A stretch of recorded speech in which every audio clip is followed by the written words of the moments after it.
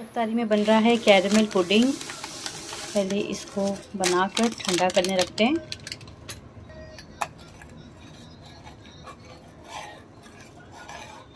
हे friends अस्सलाम वालेकुम। Welcome back to my channel so friends हो गया है एक और दिन और देखते ही देखते फ्रेंड्स नौ रोज़े निकल गए, पता ही नहीं चला आज दसवां रोज़ा है। रमज़ान तो ऐसे जा रहा है कि कुछ समझ में ही नहीं आ रहा है। रमज़ान क्या सारा साल ऐसे निकल जाता है कि पूछो मत। तो खैर, आज बहुत सारे काम थे निपटाने के लिए मुझे तो मैंने जो घर के बेसिक काम जो रोज़ के होते हैं डेली रूटीन के, वो तो मैंने कर ली हूँ। और आज मैं बना रही हूँ चिकन पुलाव चिकन पुलाव किन्जा तो रोज़ा नहीं रख रही है तो किन्जा तो खाएगी ही।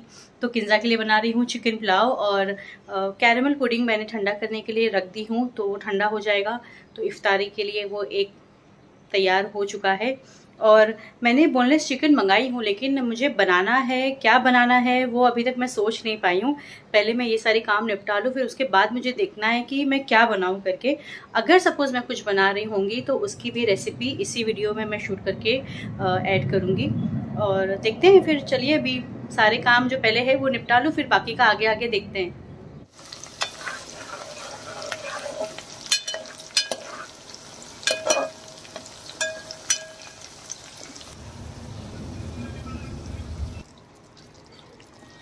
हरी मिर्च डाल दी।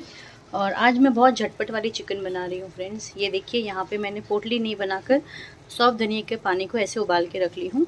और जब ये चिकन हो जाएगी तो जब चावल डालेंगे तो लास्ट में ये पानी को मैं इसके अंदर डाल दूँगी। बहुत जल्दी जल्दी करना है।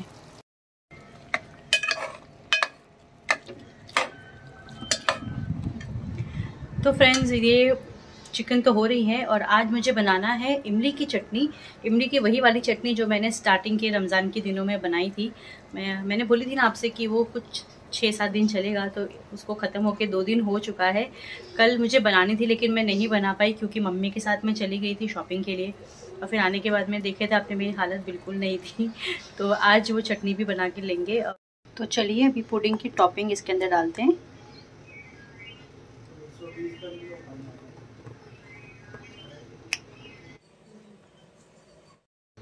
तो चलिए एक हाथ से जम नहीं रहा था इसलिए मैंने डालने के बाद दोबारा फ़ोन ले ली हूँ। अब इसको डालते हैं इसके अंदर स्लोली स्लोली यहाँ पे चटनी बन के तैयार है। इसको इसमें खाली कर लेते हैं।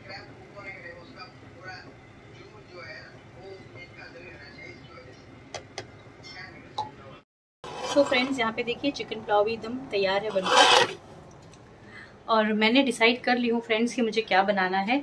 इत्तेफाक से ये सेवन आइसक्रीम के स्टिक है। सिर्फ़ सात बची है ये। और ये किन्जा को यूज़ किन्जा ने इसको ली थी उसके स्कूल के अंदर, उसको कुछ वर्क एक्सपीरियंस या क्राफ्ट के टाइम पर। तो इसमें से ये सात स्टिक्स बच गई थी और मैंने इसको हटा के रख दी थी। तो मेरी नज़र पड़ी इसके ऊपर तो मैंने सोची कि क्यों ना मैं इसका कुछ पॉप्सिकल स्टिक्स या तो फिर चिकन आइसक्रीम स्टिक, जो चाहे बोल सकते हैं, क्यों ना मैं वो बना लूँ। सारी चीज़ें घर में मेरे पास थी, मेरे पास थोड़ा सा फ्रेश क्रीम भी रखा हुआ है, जो कि इसमें जाएगा। आधा बचा हुआ है थोड़ा सा वो भी मैं यूज़ करके ख़त्म करूँगी। और चिकन सुबह में बस बाहर से आई है, बाकी सारी चीज़ें मेरे पास घर में अवेलेबल थी। तो मैंने सोची, क्यों ना मैं यही बना दूँ। तो चलिए, अब मैं इसको बनाना स्टार्ट करती हूँ और इसकी रेसिपी भी मैं आपके साथ में शेयर करूँगी। तो यहाँ पे देखिए, मैंने चिकन ली हूँ। ये आधा किलो चिकन मंगाई थी। उसमें से मैंने इतना निकाल ली हूँ। लगभग 250 ग्राम होगा। इसमें से मैंने आधा चिकन निकाल के रख दी हूँ। तो ये 250 ग्राम चिकन है। इसको धो के अच्छे से ले ली मैंने। अब इसको डालेंगे जार में।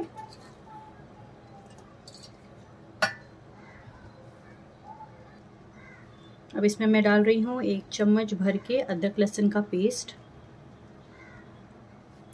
और यहाँ पर एक चम्मच में डाल रही हूँ लहसुन और मिर्ची का पेस्ट, ये जो मैंने पीस के रखी थी।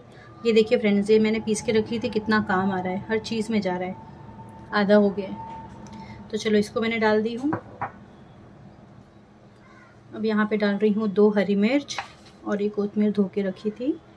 थोड़ा सा ये हरा धनिया कोतमीर मेरे पास वो नहीं था, क्या कहते हैं, पुदीना। वरना वो भी डाल सकते हैं इसके अंदर। सिर्फ़ कोतमीर थी मेरे पास। अब इसमें डाल रही हूँ मैं ये फ्रेश क्रीम थोड़ी सी बची है। बस इतनी है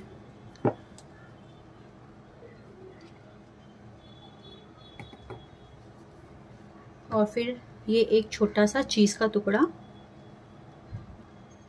थोड़ा सा एक चम्मच बटर मस्का है ये। फिर यहाँ पर डाल रही हूँ मैं ब्लैक पेपर काली मिर्च का पाउडर बहुत बेसिक से मसाले जाएँगे, कुछ जो हमेशा हर चिकन के आइटम में यूज़ होता है, बस वही सारी चीज़ें हैं। नमक।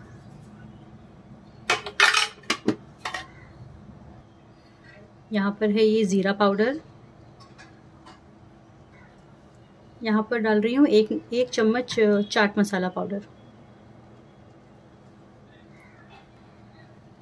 और इसमें अब जाएगा एक ब्रेड का टुकड़ा, ताकि जो मॉइस्चर होगा चिकन के अंदर, वो इसके अंदर ये सोख लेगा। तो चलिए यहाँ पे मैं नींबू काट रही हूँ। यहाँ पे डालेंगे नींबू का रस। आधे नींबू का रस। आधा या आधे से कम भी डाल सकते हैं, लेकिन आधा डाल देना। बस, ये हो गया। अब इसे हम ग्राइंड करके लेते हैं। तो फ्रेंड्स यहाँ पे देखिए, यहाँ पे मैंने इसको पीस के निकाल ली हूँ अच्छे से। और अब बनाना है ब्रेड क्रम्स तो यहाँ पे ब्रेड और बचे हुए थे तो मैं ब्रेड क्रम्स बना लेती हूँ। तो चलिए फ्रेंड्स इतना तो हो गया है। अब ब्रेड क्रम्स को भी अच्छे से मैं वो करके ले लेती हूँ। और जब मैं इसका मिक्सचर पीस रही थी फ्रेंड्स कीमा, की चिकन का जब कीमा बना रही थी तो उस वक्त थोड़ा सा मुझे लगा था कि इसका जो मिक्सचर है थोड़ा सा गीला लग रहा है जब इसको हम बनाएँगे स्टिक पर तो ये टिकेगा नहीं। तो उसके अंदर मैंने एक और ब्रेड का टुकड़ा तोड़ के डाली ताकि उसका मॉइस्चर और वो थोड़ा एब्जॉर्ब कर ले और अच्छे से उसका मतलब स्टिक पे वो टिके। तो दो ब्रेड के टुकड़े मैंने उसमें डाली हूँ। वो आपको अंदाज़ा लग जाएगा कि जब भी आप बनाओगे अगर थोड़ा सा चिकन थोड़ा गीला लग रहा है तो उसके अंदर आप डाल सकते हैं एक ब्रेड का टुकड़ा और एक्स्ट्रा तो चलिए, इतनी चीज़ें तो हो गई है। अब मैं इसके फटाफट स्टिक्स पे इसको लगाना स्टार्ट करती हूँ। काफ़ी टाइम है, अभी बज रहा है साढ़े चार। तो मैं अभी इसको सिर्फ़ बना के रखूँगी। जब वक्त थोड़ा नज़दीक आएगा, तब मैं इसको फ्राई करना स्टार्ट करूँगी। यहाँ देखिए, यहाँ पे मैंने ब्रेड क्रम्स को भी करके ले ली हूँ। तो चलिए मैंने यहाँ पे ली हूँ एक अंडा, इसमें डालेंगे थोड़ा सा नमक। एक ही ली हूँ मैंने, मुझे लग रहा है सेवन स्टिक्स है तो हो जाना चाहिए। अगर लगा तो मैं फिर एक और अंडा ले लूँगी, लेकिन फ़िलहाल एक ले रही हूँ। और थोड़ा सा इसमें डाल रही हूँ काली मिर्च पाउडर। इसको मिक्स करके देंगे तो चलिए यहाँ पे सारी चीज़ों को मैंने अरेंज कर ली हूँ। अब यहाँ ली हूँ मैंने थोड़ा सा तेल। हाथों को थोड़ा सा ग्रीसिंग कर लेंगे।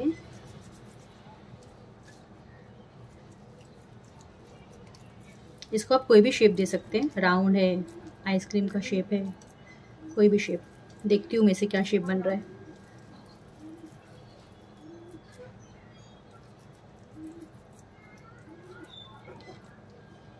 चलिए। ये हो गया। अब इसमें डालेंगे आइसक्रीम स्टिक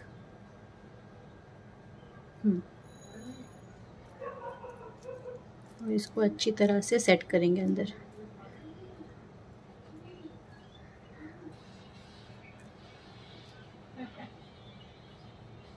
इसको अच्छे से लॉक करेंगे यहाँ से।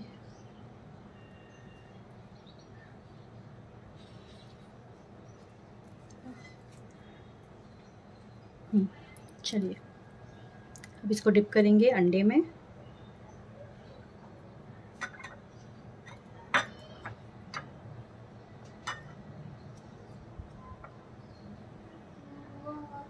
और फिर इसके ऊपर अच्छे से ब्रेड क्रम्स लगाएँगे।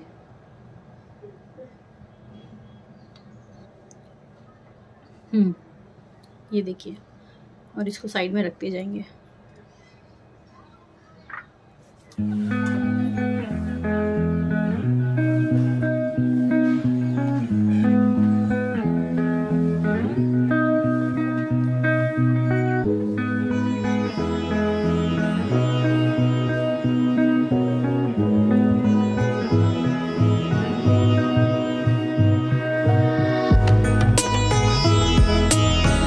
देखिए यहाँ पे ये सात स्टिक्स के अंदर आ चुकी है और अब इतना मेरे पास बच गया है।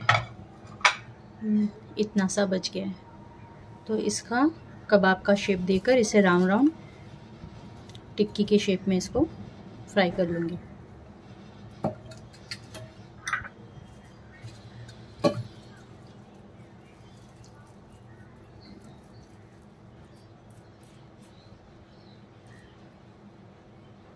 एक अंडा ली थी, एक अंडा भी काफ़ी हो गया, देखिए, इतना बच गया इसमें से।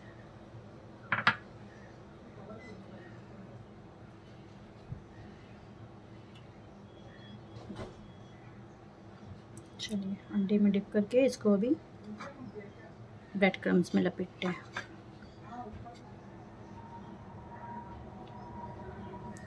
तो चलिए, मैं दोबारा आ गई हूँ किचन में और अभी बज रहे हैं छः बीस। और हमें करना है उसे लो टू मीडियम फ्लेम पे उसे फ्राई करना है। तो बाय द टाइम उतना टाइम हो जाएगा तो चलो स्टार्ट करते हैं। तो यहाँ पर तेल गर्म हो चुका है। अभी इसको फ्राई करना स्टार्ट करेंगे। बिस्मिल्लाह।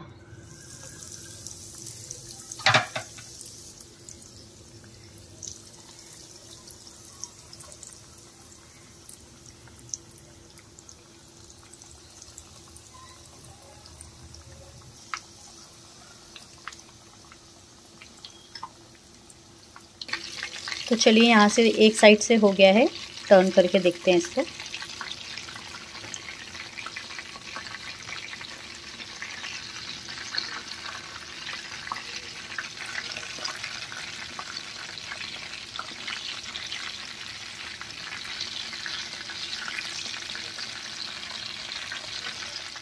तो यहाँ देखिए इसको लो टू मीडियम फ्लेम पे आगे पीछे से फ्राई करके अच्छे से इसको निकाल ली हूँ मैंने।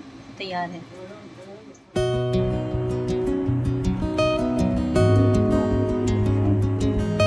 सो फ्रेंड्स देखिए अफ्तारी के लिए आज कौन आया था हमारे घर पर? अस्सलाम हाँ आज आए थे असद भाई हमारे घर पर और अफ्तारी करके बस हम लोग बैठे हैं चाय वाय पी कर और अफ्तारी के बाद है ना फ्रेंड्स बहुत ज़्यादा सुस्ती आने लगती है। बॉडी एकदम लूज़ पड़ जाती है।